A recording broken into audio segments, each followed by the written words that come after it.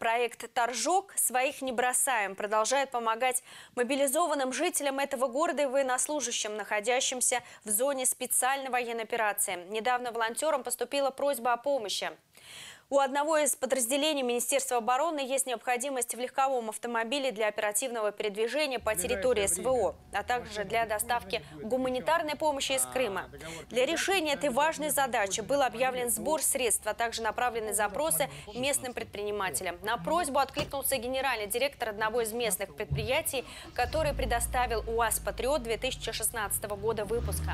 Напомним, что «Торжок. Своих не бросаем» – это проект, объединивший в себе неравнодушных людей, благодаря которым было собрано более 1 миллиона рублей для военнослужащих новаторов.